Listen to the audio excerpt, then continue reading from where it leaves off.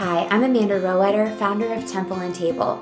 I'm so excited to be supporting Brea in this campaign because she was such an asset, especially in the developmental stages of my nutrition ministry. Brea helped me to brainstorm constructively, narrowing in on my mission while also stretching my vision of what could be accomplished in the future. This helped me to stay encouraged as I developed and then launched my ministry. When I think of Brea, I think of her creativity and enthusiasm for new ideas. She's also skilled at recognizing gifts within others and discovering ways to maximize those gifts in service to the world.